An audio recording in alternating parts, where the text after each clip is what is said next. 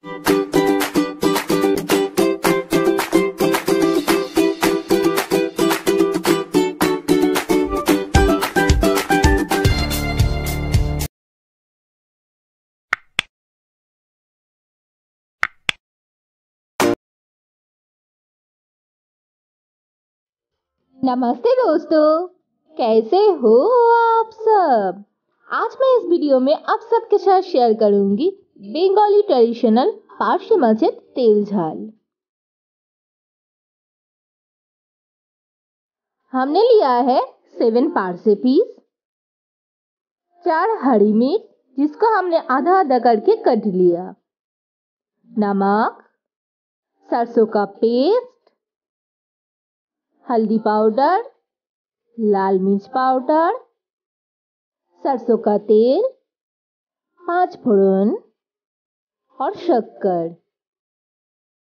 पहले हम एक बोल में परसे माछ लेके उसके अंदर डालेंगे वन थर्ड चम्मच हल्दी पाउडर साथ में एक चौथाई चम्मच लाल मिर्च पाउडर और एक चौथाई नमक। अब मछली के साथ ये सारे मसाले को अच्छे से कोट करेंगे।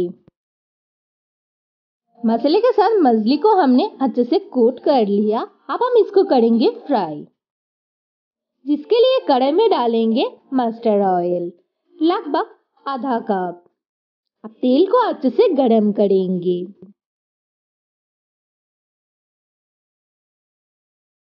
तेल गरम होने के बाद उसमें एक एक करके एक पासे फ़िश डालेंगे।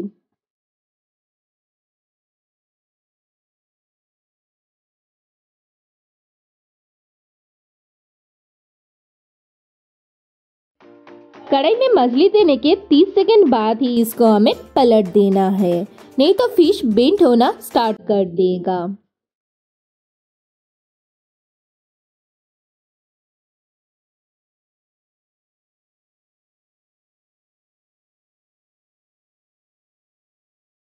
तरह से हम फ़िश के एक साइड को तीन मिनट के लिए फ्राई करेंगे और दूसरे साइड को भी तीन मिनट के लिए। यानी कि फ़िश को फ्राई होने के लिए लगभग छह मिनट की ज़रूरत होगा।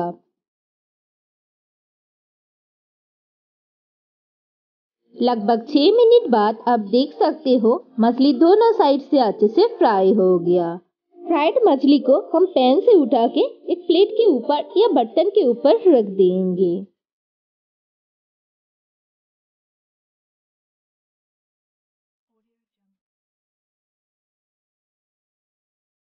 ग्रेवी के लिए हम वही तेल इस्तेमाल करेंगे।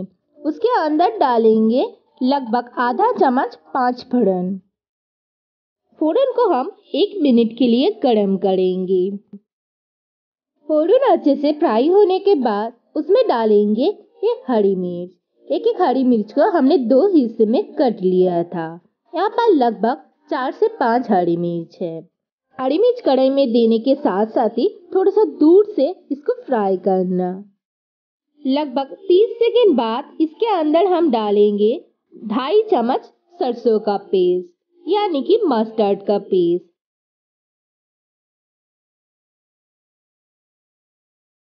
इसको जल्दी से तलना है। सेकेंड के बाद इसके अंदर डालेंगे लगभग एक चौथाई हल्दी पाउडर। लगभग दो पिंच नमक। नमक आपको जितना चाहिए उतना ही डालना। इसको थोड़ा सा बस तलने के बाद ही हम इसके अंदर पानी डालेंगे। बिकॉज़ पेस्ट बहुत ज़्यादा सूख गया है। इसके अंदर लगभग आपको एक प्याला यानी कि एक कप पानी की ज़रूरत है। तो इसको हमें फिर से तलना है। लगभग एक मिनट बाद हम इसके अंदर डालेंगे वन फोर्थ चम्मच शक्कर। और उसको मीडियम फ्लेम में थोड़ा सा बस 30 सेकंड के लिए तलेंगे।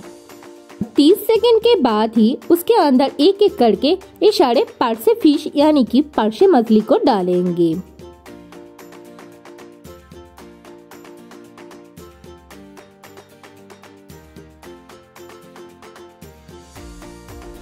लगभग डेढ़ मिनट के लिए इसको हमें इसी तरह से कुक करना है। लगभग एक मिनट बाद मछली के दूसरे साइड को हमें पलट देना है, ताकि दूसरे साइड भी जूस के अंदर अच्छे से पक जाए। इस टाइम गैस या ओवन के फ्लेम को बिल्कुल लो मीडियम कर देना, नहीं तो जूस बिल्कुल सूख जाएगा।